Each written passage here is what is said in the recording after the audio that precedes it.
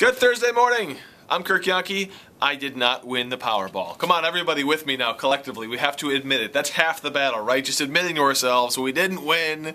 We've got to go to work today. And how does this happen? I mean, you know, here at ABC 15, we bought all these tickets. You know, we've got one of those pools where you put all your money in and you buy all these tickets, and still, nothing. We didn't win.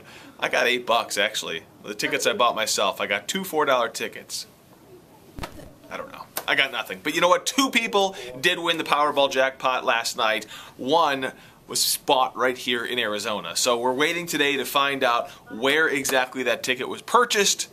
If it was you, you're probably not watching this, you're probably sleeping in, or you're jumping around the room, throwing money all over the place. I don't know. What would you do if you won? That's can't even cross my mind.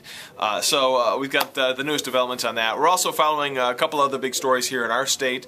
Uh, some big developments uh, with the governor in regards to uh, President Obama's health care plan and what she's saying won't happen here in our state.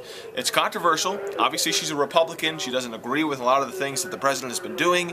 And now we'll tell you what she's not doing here in our state. Also, some nasty weather across the world that we'll be following in Northern California as well as Russia. They got uh, record snow out there. We'll show you some pictures from Russia this morning. Oh, and overnight, how could I forget about this? Lindsay Lohan accused of punching somebody at a nightclub in New York City. Good morning, Lindsay Lohan.